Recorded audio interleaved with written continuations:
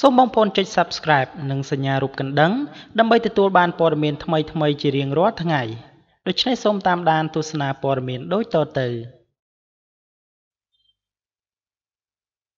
លោកជំទាវស្រីតូចចំណានពិតជាស្រស់ស្អាតជាមួយនឹងរ៉ូបបែបនេះប្រិមិត្តជាច្រើនជាពិសេសអ្នកដែលតែងតែនិយមស្រឡាញ់និងចូលចិត្តលោកជំទាវស្រីតូចចំណានប្រកាសជាបានដឹងមកហើយថារាល់ការតបតែងខ្លួនរបស់លោកជំទាវ តែងតែមិនសូវមានភាពសិចស៊ីនោះទេ តែបើសិចស៊ីក៏នៅតែបង្កប់នៅភាពថ្លៃថ្នូរគួរឲ្យគោរពមិនត្រឹមតែប៉ុណ្ណោះធ្វើឲ្យមហាជនជាច្រើនសរសើរគ្រប់គ្នាយ៉ាងណាមិញការពីពេលថ្មីថ្មីនេះអតីតតារាស្រីនឹងធ្លាប់ជាពិធីការនីមួយរូបដ៏ល្បីល្បាញបានប្រែខ្លួនក្លាយជាជំទាវរូបនេះ បានចូលរួមនៅក្នុងកម្មវិធីមួយដោយមានភ្ញៀវកិត្តិយសជាច្រើនបានចូលរួម ជាពិសេសនោះគឺសិតតែជំទាវជាច្រើន ដែលបានតែងខ្លួនស្អាតស្អាតគួរឲ្យចង់គយគន់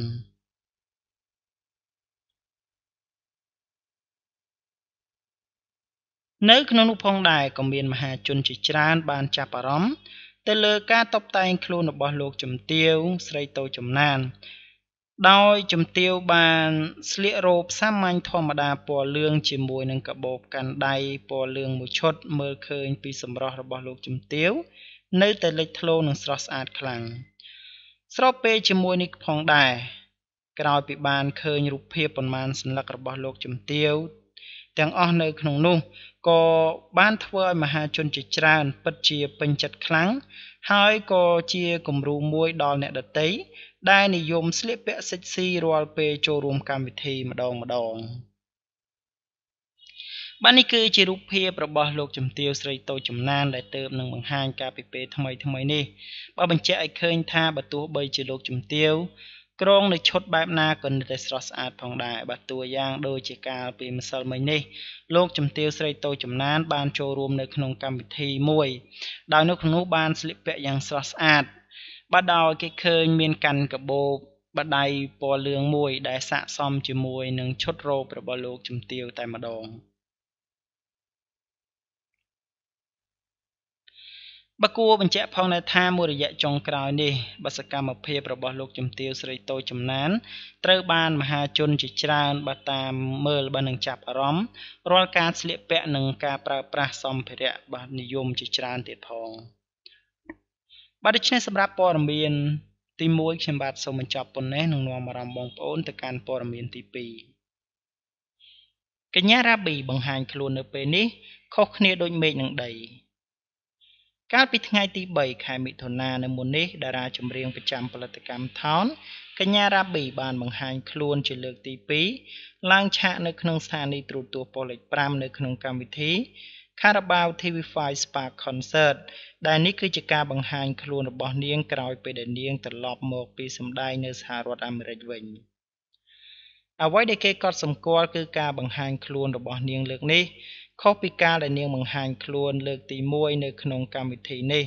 កាលពីមុនចូលឆ្នាំដាច់តែម្ដងបើទោះបីជាបទចម្រៀងដែលនាងបានបកស្រាយគឺជាបទចម្រៀងដដែលដដែលក៏ដោយ ហេតុផលដែលនាំឲ្យការកត់សម្គាល់បែបនេះ គឺដោយសារតែកាលពីឡើងឆាកប៉ូលិច5ពីមុន នាងគ្រាន់តែជាការគ្រាន់តែជាតារាតួរងនៅក្នុងកម្មវិធីតែប៉ុណ្ណោះដោយគេបានឲ្យនាងឡើងបើកឆាកនឹងបទចម្រៀងដែលនាងបានបកស្រាយនៅពាក់កណ្ដាលនៃក្រុមតារាក៏ប៉ុន្តែសម្រាប់ការបង្ហាញខ្លួននៅលើកនេះ គឺធ្វើជាតួឯកគឺជាអ្នកចម្រៀងមេប្រចាំកម្មវិធី ដែលនាងបានបង្ហាញខ្លួនតែម្ដងធៀបនឹងមុនចូលឆ្នាំនាងមិនសូវទទួលបានការគ្រប់គ្រងនៅក្នុងពេលចេញបទចម្រៀងនោះទេដោយបើទោះបីជានាងខំប្រឹងបញ្ចេញក្បាច់រាំផង និងតែងខ្លួនយ៉ាងស្រស់ស្អាតប្លែកភ្នែកផងក៏មិនសូវជាមានអ្នកទះដៃនិងមិនសូវជាឃើញអ្នកកសែតណាម្នាក់ តាមប្រមាញ់រូបភាពនាងនោះដែរក៏ប៉ុន្តែ ការបង្ហាញខ្លួនជាលើកទី2នេះ នាងបានបកស្រាយបទចម្រៀងចំនួន4បទដែលធ្វើឲ្យកម្មវិធីកញ្ជ្រោលដោយអ្នកគាំទ្រហើយបើនិយាយពីការប្រមាញ់រូបភាព គឺសុំសម្ភាសវិញនិងបើការសុំសម្ភាសវិញគឺស្ទើរតែរកពេលវេលាផ្ដល់បទសម្ភាសមិនចង់បានតែម្ដង អ្នកទស្សនានិងអ្នកគ្រប់គ្រងសុទ្ធតែមើលឃើញថាវត្តមានរបស់នាងនៅក្នុងឆាកតន្ត្រីប៉ុស្តិ៍លេខ5នៅលើកទី2នេះខុសគ្នាពីមុនដូចមេឃនឹងដី ដោយការបង្ហាញខ្លួនលើកនេះនាងក៏ប្រមូលអ្នកគ្រប់គ្រងមិនចាញ់តារាចម្រៀងយុវវ័យល្បីល្បីជើងចាស់ប៉ុន្មាននោះដែរដោយសារតែនាងទើបតែឡើងកោតខ្លាំងនៅក្នុងបទចម្រៀងមន់ស្រែ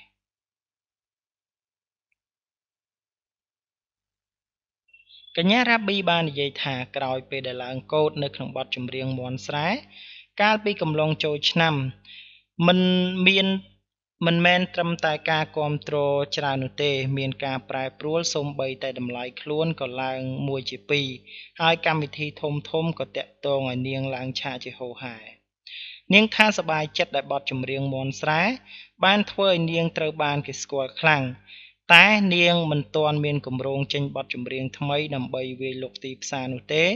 ដោយសារតែនាងចង់ឲ្យបទចម្រៀងដែលនាងបានចេញពីមុនហើយធ្វើការប្រម៉ូទបទចម្រៀងមួយចំនួន ដែលនាងមិនទាន់បានឡើងឆាកច្រៀងព្រោះតែនាងជាប់រវល់ទៅសម្ដែងនៅសហរដ្ឋអាមេរិកនាងថាបទចម្រៀង4បទដែលបានបកស្រាយនៅក្នុងស្ថានីយ៍ត្រួតទស្សន៍ប៉ូលិច5កាលពី3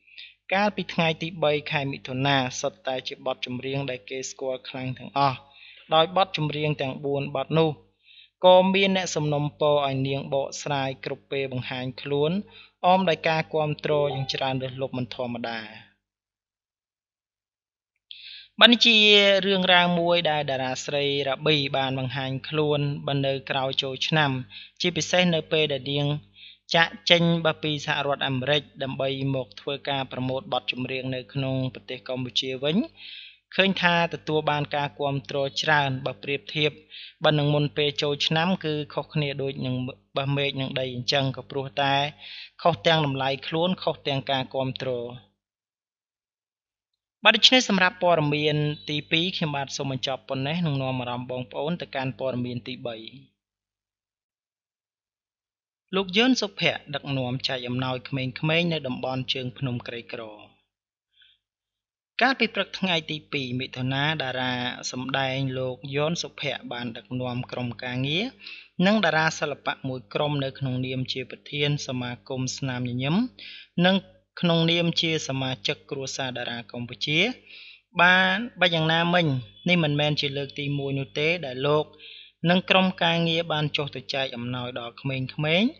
និងលោកគ្រូអ្នកគ្រូដែលបានរស់នៅក្នុងសហគមន៍ក្រីក្រទាំងនោះ។សកម្មភាពចែកសិភៅប៊ិចស្បែកជើងភេសជ្ជៈសារ៉ុងថវិកាជូនទៅដល់សិស្សសាលា និងប្រជាពលរដ្ឋរស់នៅក្នុងសមាគមភូមិគិរីអភិវឌ្ឍឃុំឈៀនឡើង ស្រុកសាមគ្គីមានជ័យខេត្តកំពង់ឆ្នាំងនេះ ត្រូវបានធ្វើឡើងដោយសារតែកង្វះខាតនៅក្នុងសហគមន៍ត្រូវបានលោកនឹងក្រុមការងារមើលឃើញ លោកយន់សុភ័ក្រប្រធានសមាគមស្នាមញញឹមដែលជាអ្នកដឹកនាំតារាសិល្បៈនិងក្រុមការងារបានចុះបោះតង់និងចែកអំណោយដល់ក្មេងៗលោកគ្រូអ្នកគ្រូប្រជាពលរដ្ឋក្រីក្រនៅទីនោះ បានថ្លែងបញ្ជាក់ថាសមាគមមួយនេះ លោកនិងក្រុមការងារបានស្វែងរកជំនួយ មកចែកជូនអំណោយដល់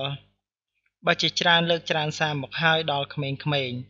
និងជូនដល់ពលរដ្ឋនៅក្នុងសហគមន៍មានភាពកក់ក្ដៅនិងការទទួលយកចិត្តទុកដាក់ផងដែរដើម្បីឲ្យតារាសិល្បៈនិងមិត្តភ័ក្តិរបស់លោក បានដឹងពីការលំបាករបស់ប្រជាពលរដ្ឋដែលរស់នៅក្នុងសហគមន៍មួយនេះផង លោកថាថវិកា និងជំនួយដែលបានចុះចែកកន្លងមក គឺសុទ្ធតែបានពីសប្បុរសជន ដោយមួយចំណែកក៏បានមកពីការរៃអង្គាសពីក្រុមតារាសិល្បៈនិងក្រុមការងាររបស់លោកថវិកាសារ៉ុងសម្ភារៈសិក្សាស្បែកជើង ដែលយកមកចែកចាយនៅក្នុងថ្ងៃនោះ គឺលោកថាมันអាចបំពេញតម្រូវការរបស់ប្រជាពលរដ្ឋ ដែលមានកង្វះខាតបានទេក៏ប៉ុន្តែ អាចចែករំលែកក្តីស្រឡាញ់ដល់សិស្សប្រជាពលរដ្ឋដែលរស់នៅ តំបន់ដាច់ស្រយាលនោះផងដែរ។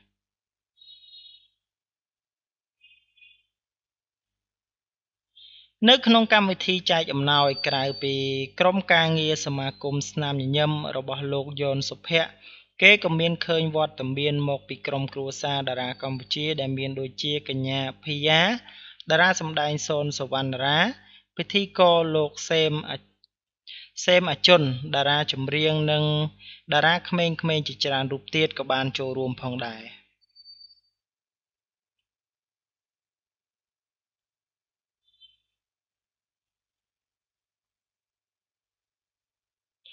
បាទនេះជារូបភាពដែលបានផ្ដល់មកពីក្រុមគ្រួសារតារាកម្ពុជាបានបង្ហាញខ្លួន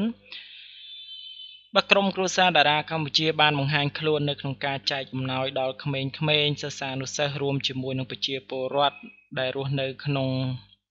បាទតំបន់ជើងភ្នំដាច់ស្រយាលបាទដូច្នេះសម្រាប់ព័ត៌មានទី3ខ្ញុំបាទសូមបញ្ចប់ប៉ុណ្ណេះសូមអរគុណរាល់ការតាមដាននិងការចុច Subscribe របស់បងប្អូនទាំងអស់គ្នា